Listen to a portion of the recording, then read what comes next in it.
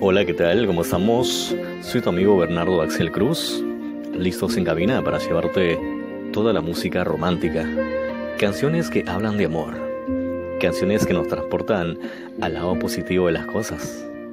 Porque simplemente dice, detrás de cada canción, siempre hay una historia de amor. Bienvenidos, esto es Club de Corazones.